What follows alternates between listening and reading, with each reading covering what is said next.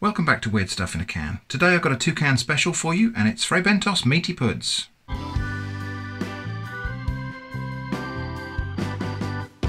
So yeah, Fray Bentos Meaty Puds, this is from the same brand as the canned pies we've been looking at already in the series.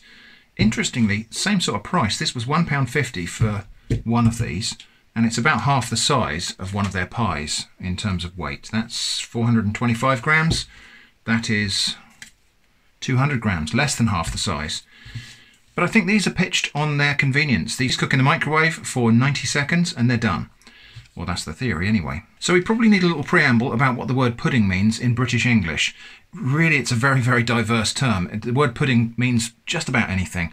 And I'll put a non-exhaustive list of pudding types on the screen right now. Basically, this is a suet pudding, so it's a meat and gravy enclosed in a sort of pastry that's normally cooked in a steam basin. This obviously is going to be microwaved. So I've got two varieties today. I've got just steak and steak and kidney. Steak and kidney is usually my favourite for pie fillings and the like, so I'm expecting to like this one better than this one. I've never really had these before, although obviously I have had homemade puddings before now. So we'll do the ingredients on the steak and kidney. I think we're just going to assume that the steak one is going to be very similar, but without kidney. So the ingredients are water, wheat flour, beef 10%, pork kidney 9%, beef fat, modified maize starch, salt, acidity regulators, which are malic acid and fumaric acid, onion powder, barley malt extract, tomato paste, raising agent, yeast extract, flavouring, which is white pepper, beef extract, chicory extract, stabiliser xanthan gum, sugar, colour, which is plain caramel, tomato powder, garlic powder. Now the notion with these is that you open them, you turn them upside down on a plate and microwave for 90 seconds, which we will do in a moment. I have skipped breakfast this morning to justify having two of these for my lunch. Normally I think what the serving size is recommended to be one of these per person, but I've skipped breakfast. In fact, you may be able to hear my stomach rumbling from time to time. I apologise for that. So I'm going to have both of these, and I thought I'd have some mash with them. And since we're going for something that's really instant and quick, I'm going to go for some instant mash as well. So I saw this brand and I've never tried it before, Idahoan Perfect Mash with cheddar cheese flavoured.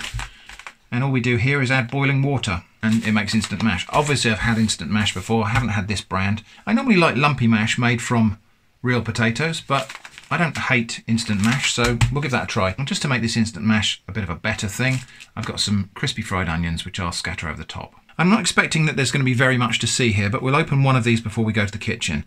I am going to use the pull tab because I don't think the can opener will work on these cans. It's a plastic can with a metal lid.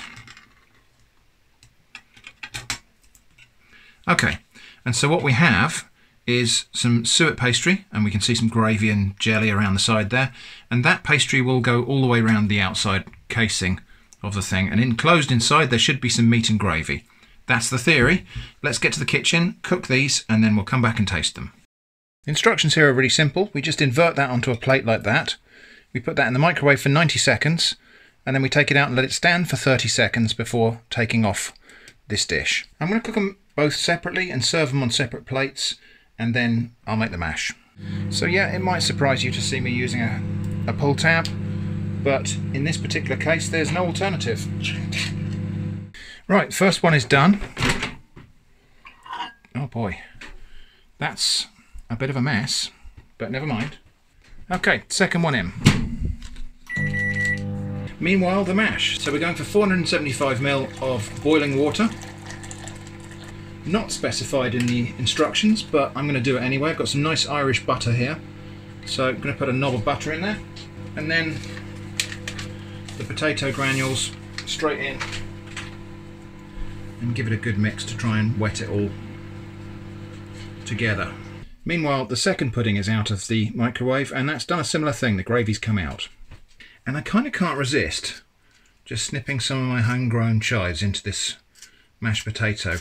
I, I guess I should be tasting this as it comes out the packet, but this video is more about the puddings. So anyway, I'm going to snip in some of these homegrown chives, which are just so lovely and fresh at the moment. Now you've got to have some semblance of something green on the plate. Okay, now it says fluff it up with a fork, so I will do that. Oh, looks all right.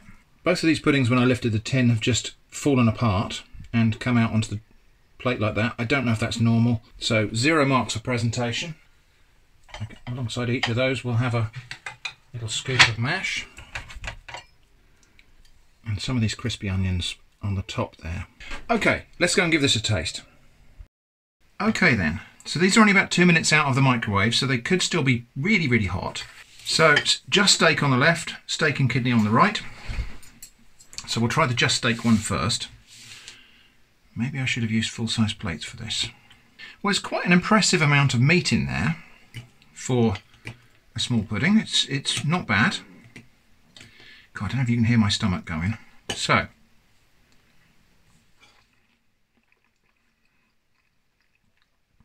yeah, that's right. I'm not completely convinced by this pastry. It's really gummy. If you made a homemade steamed suet pudding, the pastry would not be as gummy as this. But we've got to make allowances for the fact that it is a canned product.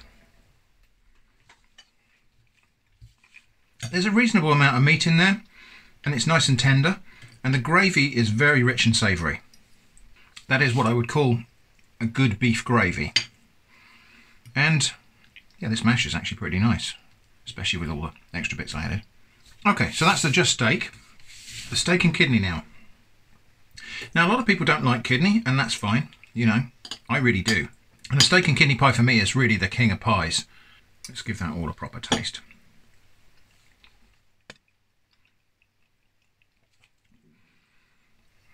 Actually, not an awful lot of diff flavour difference. I think they've probably pitched this for... I mean, I can't see... Let's see if we can find a piece of kidney. Let's have a proper taste with a piece of kidney in there. It's really, really mild tasting and a little bit of a disappointment actually. I, I quite like a steak and kidney pie to taste of kidney and I'm not really getting any of that here. It just kind of tastes the same as the steak pie, perhaps a little bit less rich actually, but with a different texture obviously because of the kidney. So that was Fray Bentos Meaty Puds. Not bad I would say, and certainly a really good stopgap to have in the cupboard because it's basically a savoury meal in two minutes from a standing start, and that's pretty good. They're not paying me anything to say this by the way. Yeah, the pastry is a bit doughy compared to a suet crust that you'd make at home, but it's not actually a bad thing. It's kind of halfway between a pastry and a dumpling anyway. In some ways, I think a lot of people are going to say that makes it more satisfying and hearty. So here's an interesting thing. Steak and kidney pie as a general thing is my favourite pie.